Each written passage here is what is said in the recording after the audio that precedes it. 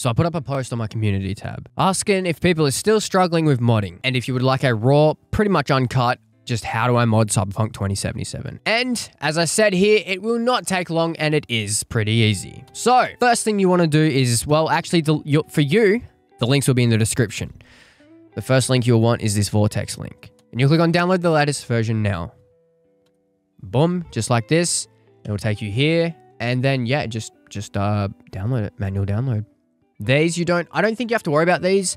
This one here, you can click and open Windows 10 or above. Just you just have to have Windows 10 or above. I'm gonna click download because I'm I've already got that runtime thing. Now I don't know. Download it yourself and test out, but I think it just comes with computers. That's that seems to be my understanding. But anyway, slow download. If you're not a premium member of Vortex, doesn't matter. Sometimes I'm a premium member, sometimes I'm not. I don't need it all year round, do I? No.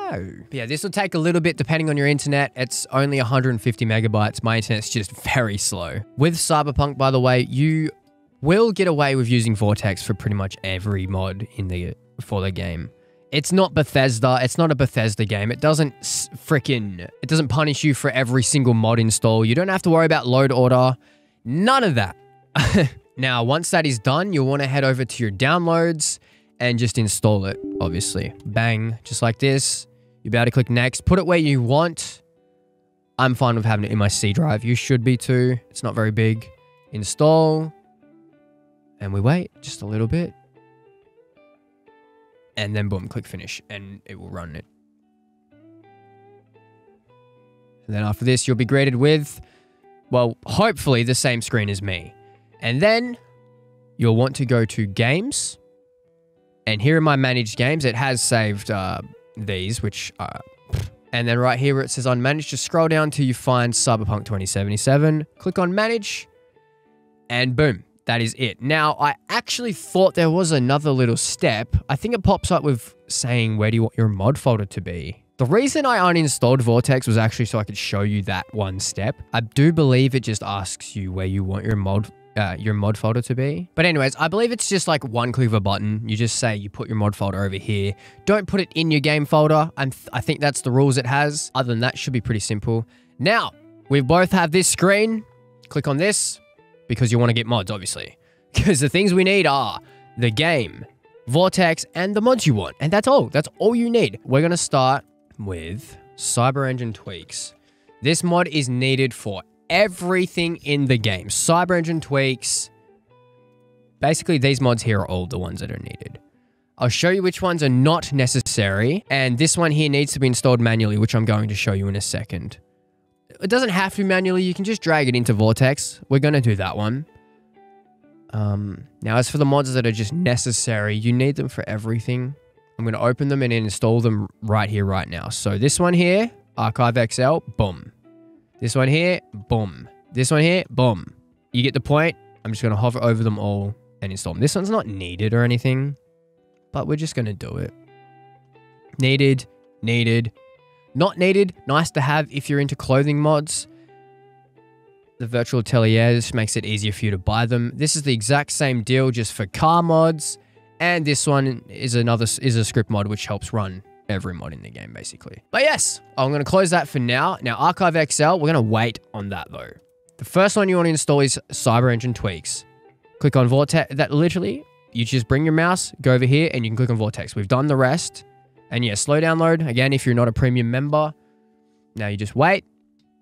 It is downloading. You'll be able to see it here and here. But that is done. Now, a little rule of thumb that I tend to do myself is when you are installing mods for Cyberpunk, only download like two, like one to two mods at a time, and then launch your game from here to make sure that it does still work. Mine should still work. If it doesn't, then we've we've fucked it up. but as you can see, the game works. Now with CyberEngine tweaks, when you do first launch it, it will give you this. You want to bind your key. I click here, and then I'm going to bind it myself to the tilde key. That's where I, you know, where I put it. I actually got some comments saying that they never got this menu. That really just means either what, like, really just means you, um, didn't install the mod. But yeah, since my game does work, I'm going to Alt F4 it. Boom. And we're fine. We're fine. You're fine to do that. fine to do that. I've never had issues doing it. Now that's installed. We're going to go over to the next mods, which is just, uh, you know, this one here. You can do the same deal with each of these. But the one here that you might actually have trouble with is this one because it doesn't have a way to install with Vortex. Well, you'd think that, but we're going to click on manual and we're going to download it manually and, and do that. And then once it has downloaded manually, you can just click on it and drag it into here, which is this bottom part here that says drag files. And it is installed. And the game will work. Again, I don't need to launch it. I think I'm pretty much a professional at this point. but yeah, so we've got these two mods installed and running. This is a mod that, like, if you want to download a clothing mod that has a different texture or a car mod that has a different texture or just texture mods, you will need this mod. So yeah, it is pretty uh, necessary to have. And yeah, we're just going to install these mods. Don't let all these tabs fool you into thinking it's overwhelming or anything. I have all these open because these are mods that I'm showing you to download. If I want to download this car mod here, for example, the requirements for it are literally the mods we're going to download, as you can see here. This one's optional like I said before. So that's fine. All right. Now, since I want to try and download this mod and it is manual only, I'm going to show you how to manually install.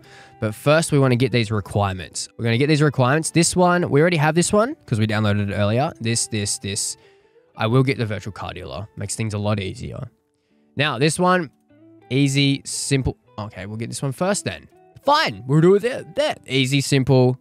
Click on Vortex. The Vortex install is pretty much the safest way to do it because if you start doing manual installs for every mod, you won't know when to update them. Cars should be fine. I've never had any car mod issues manually installing because the mods that need updating normally are just these ones, the script mods and, and whatnot. So now that we've got RED4ext, we can now download this one, slow download. It's doing the stuff. You can see here, doing the stuff, doing the stuff. And then we'll close that. We already got that one. We'll close that. And then we'll get this one as well. So yeah, just download all these core mods first and then you're chilling basically. Tweak XL, bang, bang. Yep, yep. And then the virtual car dealer, not a requirement mod at all. Oh, did we get this one? Oh my God. but yeah, don't worry. Like these is mo mostly all of the required mods anyway. So once you have them, it's not a pain in the butt. Like it really, really is not a pain in the butt. Did I get Archive XL and Codeware? I don't know. Did I get Codeware? Let's find out. No, we didn't get that yet. So, all right. So, Vortex install. Yep. Thank you. Thank you. And then back here. Wait, what did I say? Oh, it says I already got it. All right. And then just cancel. It doesn't matter. And then bang. Okay. That's installed. That's installed. This one here, not that it matters to you. This one here is just a way to get your game back to you know how it was. I had to do that to set up for the video, obviously. Now we have all these. Oh, wait. Also, if you want to know how to do this, just open it in a new tab. I'm just clicking in the scroll wheel, by the way. Makes things so much easier. But yeah, anyways, I can now download this. Boom, boom, easy. Now that we have the virtual car dealer, we'll go and download the car. But virtual car dealer is optional. Anyways, we're going to download the car. Boom. And boom. And boom, I meant. Okay, so the car is downloading. To install it is a manual installation only. It says here what to do. Unzip both files into the root directory of the game. And if you don't know where to find the that, so yeah, this right here, don't know if you can see, but this right here is how is where you'll want to go to find your game file if you have it on Epic, GOG, or Steam. Now, Steam's actually the easiest. I don't have it on Steam personally, but what you want to do is right click on your game in Steam, hover over manage, and just click on browse local files and that will take you to the game files.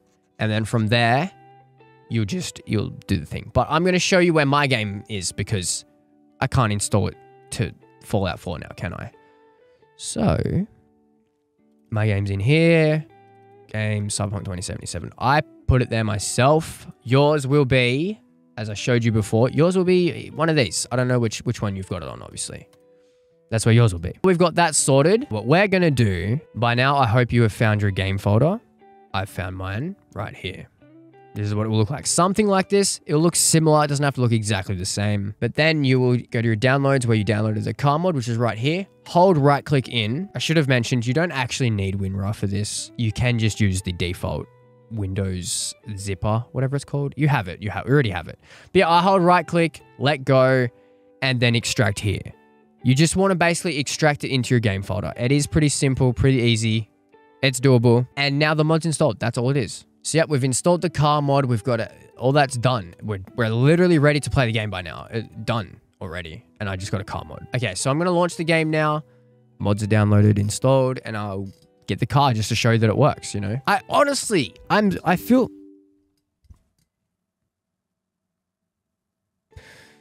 This won't happen to you. My thing had trouble because it's stupid. It thinks, so basically, well, actually, I'll show you how to fix an error. it says right here that it depends on CodeWare, which I don't have installed. Um, I literally, I literally went to download CodeWare and it's like, you already have it installed. Don't worry about it opening the game. That will happen. It thinks it's funny. So we're going to go back to Vortex and just type in CodeWare and install it. Install with Vortex, bang, bang. It's just silly that that happened. See, it says right here, you already downloaded it. Oh, it doesn't exist. It's lying to me. So we're going to download this. It's done. It was that easy.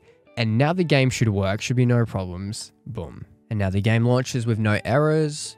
We'll jump in. We'll go get the car. I'll show you the virtual a deal. A deal. Uh, I'll show you the virtual car dealer so that you know that modding works. All right, here we are in V's apartment, just chilling. I'm to go over to the computer because that's where the virtual car dealer mod will be. And here's my car. Boom, right there. I don't have any money. so I can't show you the car, but it does work. It actually does work. And yeah, if you see, if you see the car mod here, you've got it in the game. That's that. Literally, it's it is that easy. It really is. And Vortex is a safe way to actually um, install mods for Cyberpunk 2077. Cyberpunk's a pretty forgiving game. Like I just loaded that game and I don't even have any of my mods installed actually. And yet didn't didn't punish me at all. If you did this on Fallout 4, my goodness, you would have got a smack bottom. um, I truly, truly, truly hope this video helped you. I actually tried my freaking hardest to get this um, done. I know it seems very simple for me to sit down here and record this type of video. Hell no, man. It was harder than recording a Let's Play. Let's be honest. Thank you very much for watching. I'm just thinking, I'm just making sure that I got everything covered. I showed you how to mod. I showed you how to install Vortex. Vortex. Boom. Yep, we did that. CodeWare. Yeah, I showed you that. Yep, we did that too. When you are installing mods, always do read like this section of it because it, it does tell you exactly how to install. And now that I've showed you the basics, you should be like able to do this pretty good, yeah? Yeah, yeah, yeah. But I'm pretty sure I got everything done. Thank you so much for watching. Leave a like if you enjoyed. Leave a comment down below if you have anything to say. Subscribe for more. Subscribe for more. And with that said, I'll see you in my next video. Also, before I go, I do have a bunch of Cyberpunk mod videos on the channel. So now that you know how to mod, you can go and watch my mod videos and get those mods if you want. Thanks for watching. And with that said, I'll see you in the next one. Bye bye. Have a great one. Bye bye.